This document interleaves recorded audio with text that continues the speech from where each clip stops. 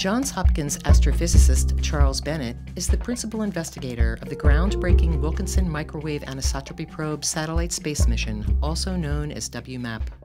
Using WMAP, Bennett and his team peered back 13.7 billion years at the most ancient light in the universe. The objective of WMAP was really to pin down the universe, to learn uh, what it's made of, what its shape is, uh, uh, what its age is, all, all these fundamental properties about the universe. And we knew that the way to do this was to make a map of the sky uh, measuring something that we call the cosmic microwave background.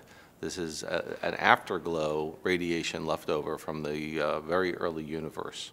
So by measuring the afterglow light in all directions of the sky, we basically have a, a, a, picture of, of what the universe was like. From this image, what amounts to the infant universe's first baby picture, Bennett and his team were able to determine the composition of the universe with unprecedented precision.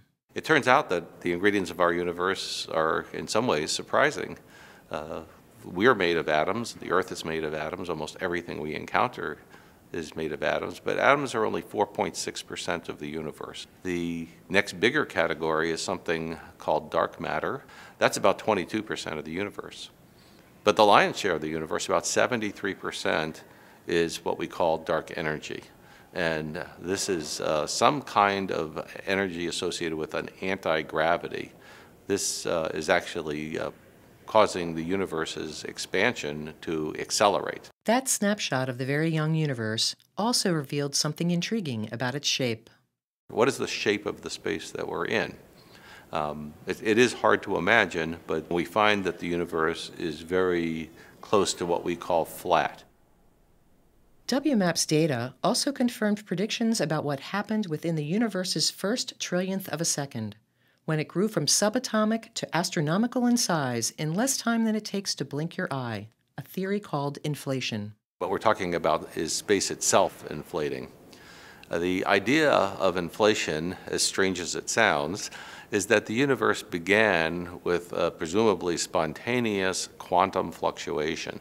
And this provides a mechanism to begin the universe and get the Big Bang expansion going. Thanks in large part to Bennett and WMAP, scientists can now describe the universe's birth and first moments with the kind of precision once reserved for experiments conducted in laboratories. WMAP has uh, made a transformational difference in our understanding of the universe.